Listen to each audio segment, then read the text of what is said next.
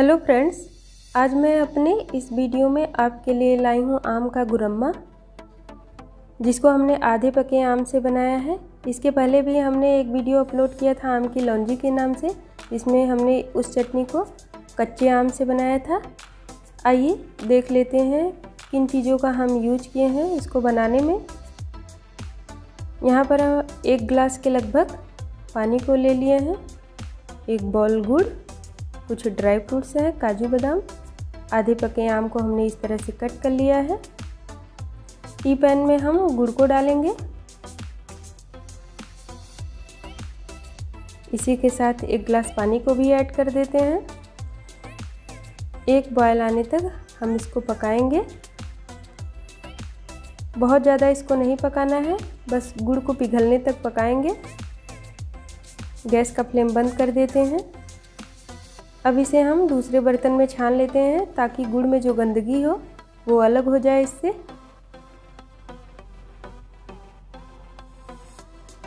कढ़ाई में तेल डालेंगे। तेल के गर्म होने पर एक चौथाई चम्मच के लगभग पंचफोड़न ऐड कर देते हैं। ब्राउन कर लेते हैं इसको थोड़ा सा।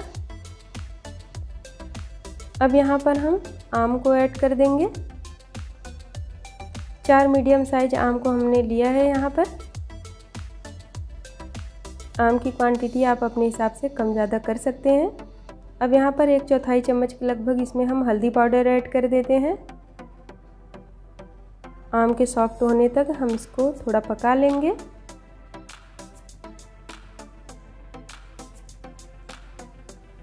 गुड़ का पानी ऐड कर देते हैं।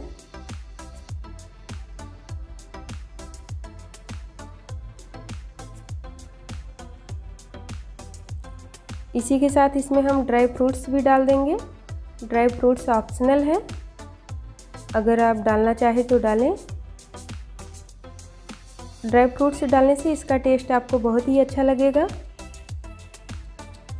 अब इसको छः से सात मिनट मीडियम फ्लेम पे हम पकाएँगे।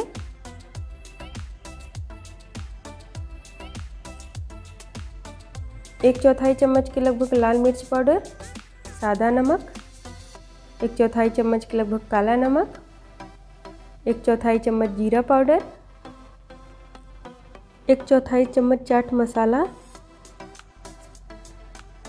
डाल के अब इसको मिक्स कर लेते हैं। मीडियम फ्लेम पे इसको ढककर छः से सात मिनट पकाएँगे। चेक कर लेते हैं इसे। ये देखिए, ये आधा कुक हो गया है। अब इसको पाँच से छः मिनट और मीडियम फ्लेम पे पकाएँगे ताकि इसकी ग्रेवी जो बनी है वो थिक हो जाए। चलाते रहेंगे बीच बीच में इसको। ये देखिए, अब यहाँ पर हम गैस का फ्लेम बंद कर देते हैं। ये ठंडी होने के बाद थोड़ी थिक हो जाएगी। दूसरे बर्तन में इसको अब निकाल लेंगे हम। आप इसको ज़रूर ट्राई करिएगा, ये आपको बहुत ही पसंद आएगी। फ्रेंड्स अगर ये वीडियो आपको पसंद आए तो मेरे वीडियो को लाइक करिएगा चैनल को सब्सक्राइब करिएगा और कमेंट बॉक्स में कमेंट करके ज़रूर बताइएगा। धन्यवाद।